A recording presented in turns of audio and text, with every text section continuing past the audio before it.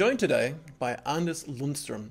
Now, Anders is the Strategy Product Manager, Control Plane on Solution Area Packet Core at Ericsson Digital. Anders, great to see you. Thanks for making time to catch up with me.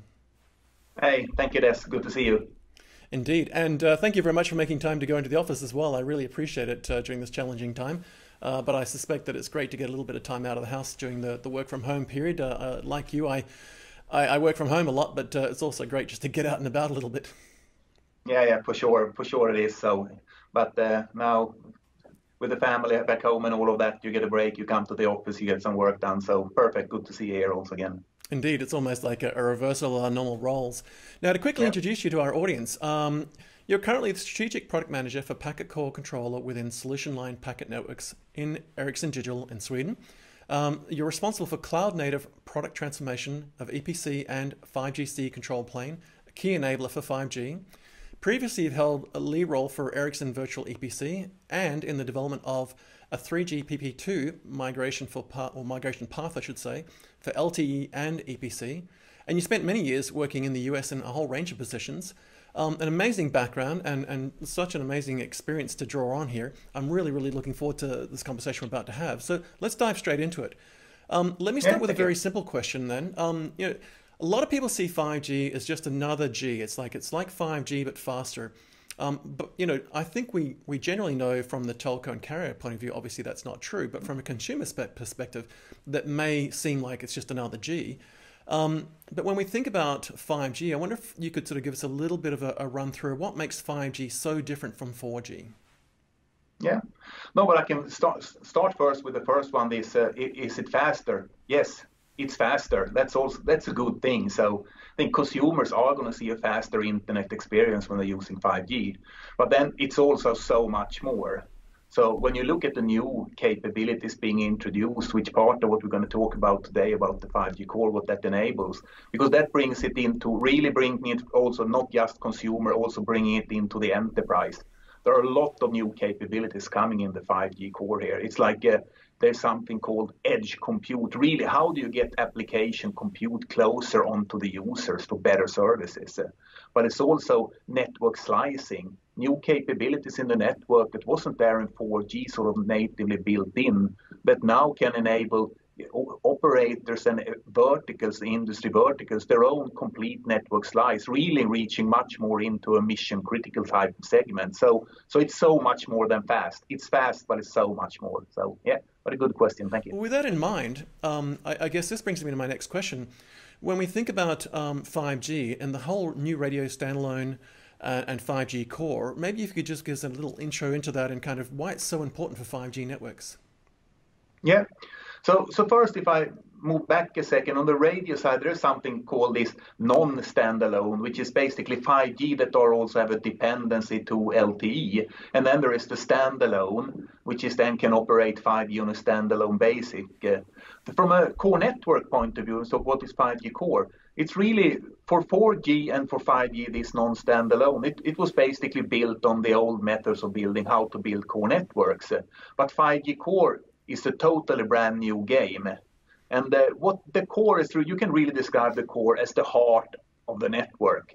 This is uh, what connects all these radio heads and the base stations, providing you so you can move around, you get full internet access and can send packets forth and get an excellent internet experience on your phone and an app experience. Uh, so, so 5G core in that sense, uh, for operators and for the world, this, this is the largest change we have seen on the packet core side. So there's been a lot of GS1, 2, G3, 4, which evolved. It used a lot of protocols that was tailor-made for mobile. But, but now, really, this is changing over into the largest change we have seen. It's uh, basically three probably fundamental new principles. There's something called service-based architecture. This is starting to use standard web protocols when you communicate within this 5G core. Uh, moving away from additional sort of mobile only specific ways of protocols into an IT domain, you could say. And secondly, it's cloud native.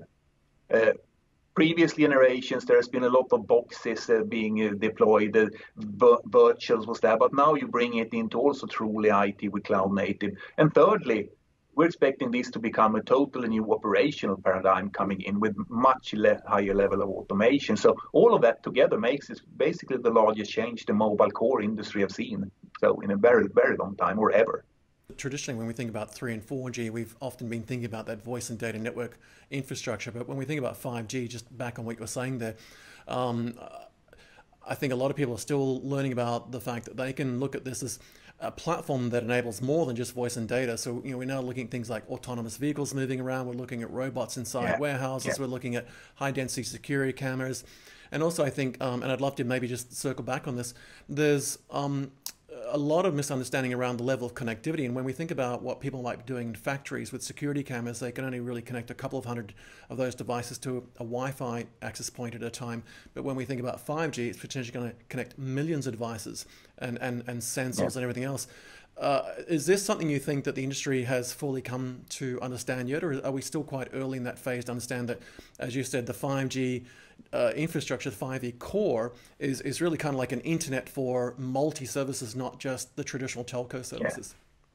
Yeah. yeah, no, no, I think I think for sure the industry we we have all started to consider that and starting to look at that, but it, hasn't taken off in a big way, really transformed industries yet. Uh, that, is yet to come. But for sure, I think that many carriers and many of our customers are starting to look at that. This is my target key next type of segment to move into that type of vertical business and enterprise business and move beyond the consumer mobile broadband. So it's definitely on the minds of everybody, I think. And, and 5G Core, in that sense, will offer them some new capabilities there to, that they can leverage in those type of enterprise tailor-made enterprise offerings. When you mentioned what the new 5G core is built on, and you mentioned that it was cloud native technology, I wonder if you could elaborate just a little more on specifically what that is, and I guess why it's so important to the 5G networks.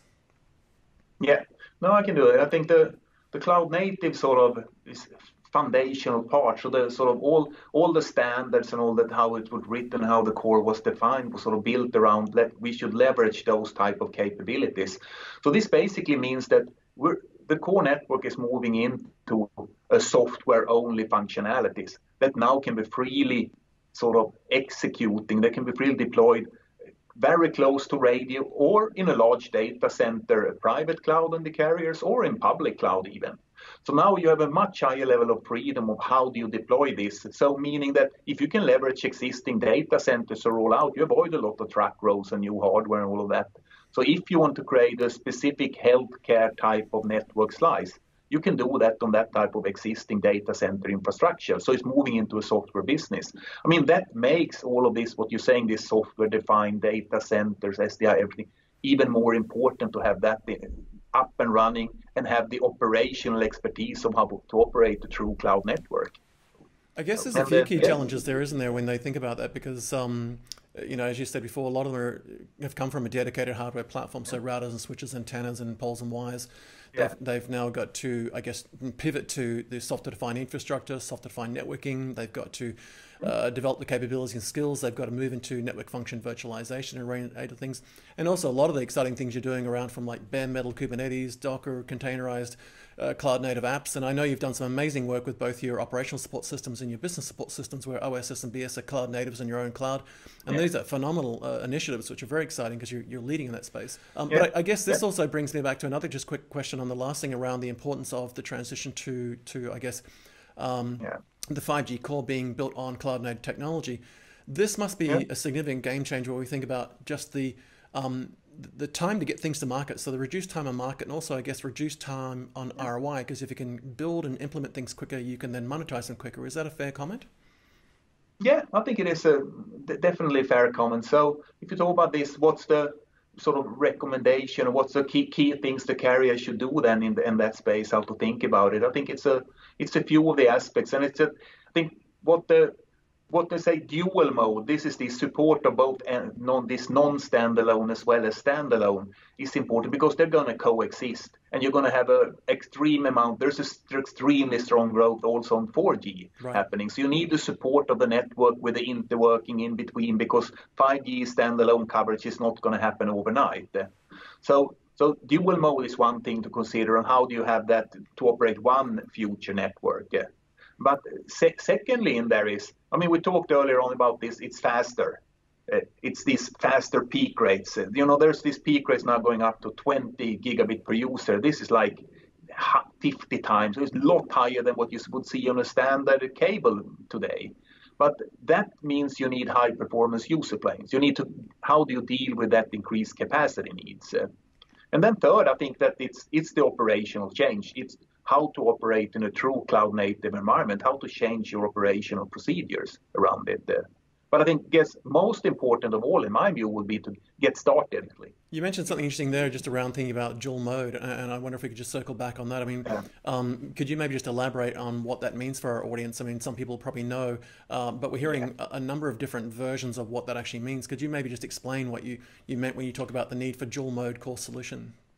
Yeah, I I think there's a there's a lot of di- different people in the industry will say this is different things, but all that. But but in a sense, there is the 4G core network architecture defined, sometimes as evolved packet core EPC, and then there is new 5G core.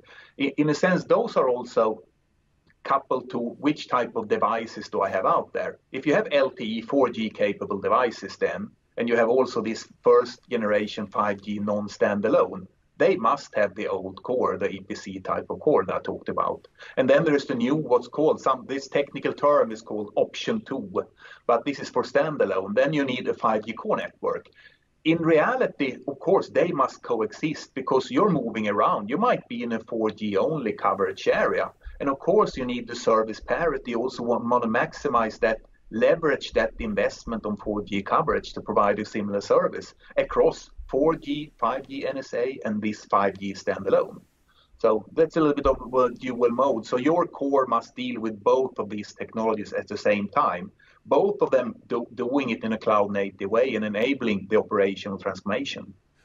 Before yeah. we wrap up, I've one last thing I'd like to sort of just look at. I think there's also a lot of um, uh, misunderstanding around kind of where we're at in this journey. You know, when we think about the transition from the previous Gs, two, three, three to four, they've been fairly iterative, iterative natural steps. As you know, as you said, they're, they're fairly uh, straightforward steps from three to four to four and so forth. But four to five G is a big step. It's not so much a leap, but it's a series of number of big steps. So one of the things that yeah. I think a lot of people ask me is, where are we at on this journey? So are we still at the early days? Are we at the mid road? Are we sort of over the hump and sort of down the other side now going?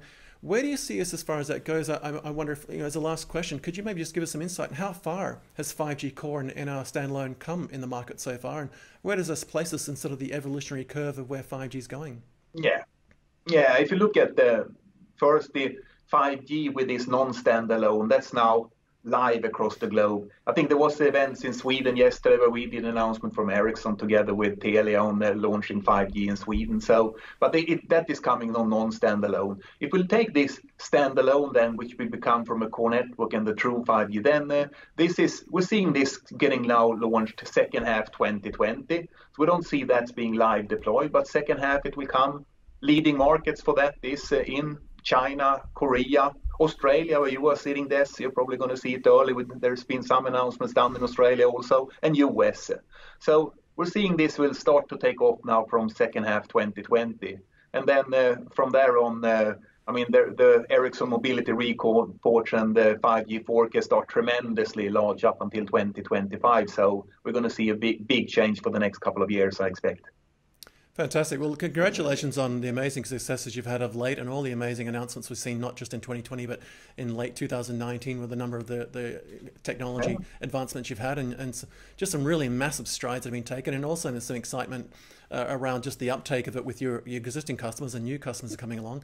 Uh, Anders, it's been great to see you. Thank you so much for your time. I can't wait to see you in person again soon uh, there in Kista uh, at uh, Ericsson headquarters. And um, keep up the great work. Stay safe. I hope yeah. you and your family are well. And uh, hopefully we'll see you again in person soon. But in the meantime, stay safe and appreciate your time. Yeah, thank you, Dez. And you also stay safe out there. So see you later. Indeed. Thank you. Bye.